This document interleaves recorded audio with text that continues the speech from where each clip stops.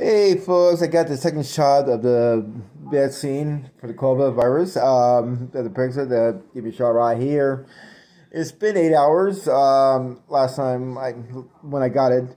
Only thing I have problems right now is just really sore right here. Uh, my first shot, the whole arm is just sore. That's one of the kind of side effects I have so far. But um, so once again, when you show up, I went to Oroville one. They had like this, some kind of closed gym. They brought into some kind of you know place get your shots.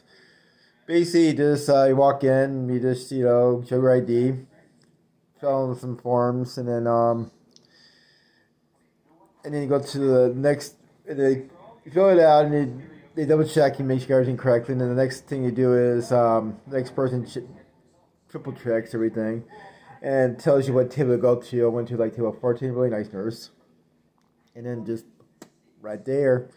And then they um, tell me, the, you know, before they, then they tell you follow the, you know, the red lines and go to a waiting area. You gotta wait like 15 minutes, but uh, they don't time you, you time yourself.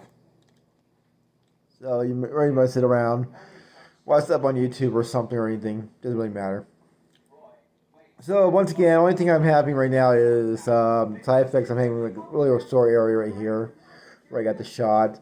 Uh, I'll do a part two to, uh, in 40 hours. Let you know what's happening with my body. Make sure I'm turned into a freak or a zombie, or maybe I'll get superpowers, uh, or something like that. Uh, please let me know um, the comments. Uh, have you got the shot yet? What kind of side effects you got? I know some people got the Johnson one, um, got sick really bad. Some young people, so him sick for a couple days. So um, so far, I've been good. No no complaints, just soreness. That's pretty much it.